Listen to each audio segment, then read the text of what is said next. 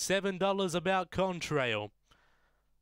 They log away nicely. Lightong set to race. This is race number 12 out of Angle Park. Set away. Kissing Kiefer began on terms. There's speed from Nightglow, who gets clear by a length early. Kissing Kiefer gets clear racing room now and is up to second and moving towards the lead. About four lengths away then to Contrail with Artistic Lee, Knock the Clock and Show 'em Hills up to the turn. Nightglow is still in front. Got clear by two on Kissing Kiefer and Nightglow, very impressive, gets up to beat Kissing Kiefer.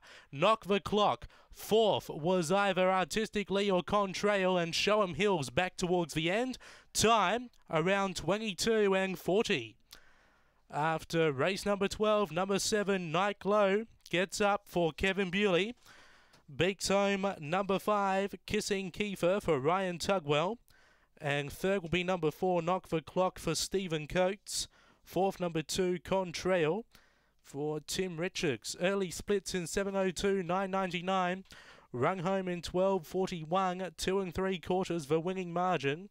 2240 the time, two lengths that margin between second and third. Two and three quarters by two.